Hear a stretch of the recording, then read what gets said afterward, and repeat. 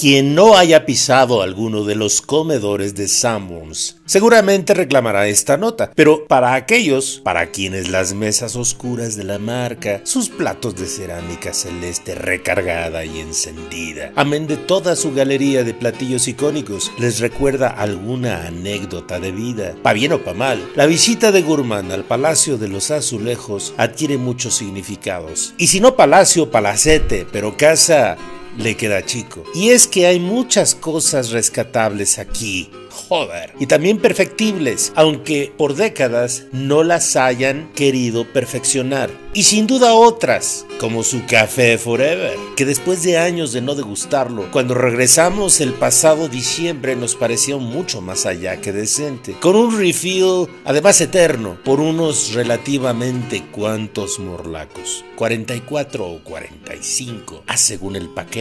Platos icónicos como sus huevos Summers, que te sirven nadando en una salsa jitomatosa, con rajitas de chile poblano, crema y queso. Mejorar este plato se podría hay mucho, pero quienes lo hayan ensayado más de dos veces se llevarán esa memoria gustativa a la tumba y todavía la saborearán con esos molletitos aplanados de mantequilla típicos, clásicos y bien engordadores. Los huevos divorciados gozan espléndidamente de su condición holgada o libertina. No son precisamente los que te recomendaría el cardiólogo, porque además de ser un par de rancheros con la tradicional salsa roja y del otro lado verde, de sazones bien conocidas, todavía llegan anidados entre frijoles y chilaquiles bañados de queso como se acostumbra aquí, con la tortilla refrita, no de muy buena masa, pero se acepta con una protesta poco enfática. Y esos frijoles refritos que habrás probado en repetidas comilonas y te saben igualito que hace 30 años, o 20, o 15, o 10, son un deleite de memorias. Mismos frijoles que vas a ver untados en los clásicos molletes Sammons. Y ya sabes, pan mantecoso, frijolitos, una sábana generosa de queso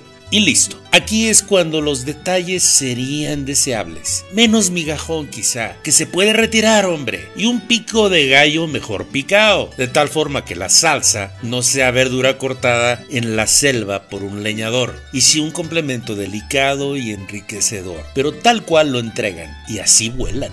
Los albañil son un hit y su sencillez o simplicidad es su gran virtud. Remojados en esa salsa tomatosa, se aplican sobre tortilla o molletes aplastados con una deliciosa versatilidad y para el plato, obvio, se convocan frijolitos caldosos, pero que aquí sirven espesos. Las enchiladas suizas de la casa son un plato estandarte entre los restaurantes de su tipo, entre todos. ¿Por qué si son tan poco púdicas en presencia? Pues por eso mismo. Mucho pollo, una salsita medio bechamelosa muy especial y a veces le pones alguna otra salsita verde o roja y el picor no tan escondido. Mucho, pero mucho queso y un sabor que tu memoria identifica incluso antes de aterrizar en el lugar con el único propósito de reincidir en el plato una y otra vez. Pedimos los tamales, pero mientras a los de Puyol, y perdón que hablemos de los de Puyol, pero es que son una basofia, les falta sensatez, a estos les sobra proteína. Y sí, ningún tamal nos acomoda. Luego nos quejamos de que los de la calle no tienen carnita. Bueno, pues a estos les falta masa.